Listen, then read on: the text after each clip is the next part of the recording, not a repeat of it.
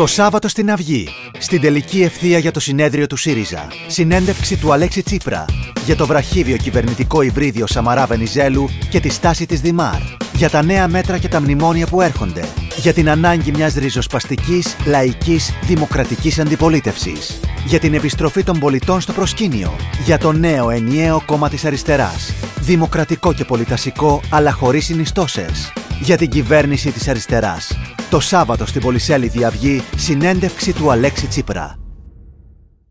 Το Σάββατο στην Αυγή, στην τελική ευθεία για το συνέδριο του ΣΥΡΙΖΑ, συνέντευξη του Αλέξη Τσίπρα για το βραχύβιο κυβερνητικό υβρίδιο Σαμαρά Βενιζέλου και τη στάση της Δημάρ, για τα νέα μέτρα και τα μνημόνια που έρχονται, για την ανάγκη μιας ριζοσπαστικής, λαϊκής, δημοκρατικής αντιπολίτευσης, για την επιστροφή των πολιτών στο προσκήνιο, για το νέο ενιαίο κόμμα της αριστεράς, δημοκρατικό και πολιτασικό αλλά χωρίς συνιστώσεις, για την κυβέρνηση της αριστεράς. Το Σάββατο στην Πολυσέλιδη Αυγή, συνέντευξη του Αλέξη Τσίπρα.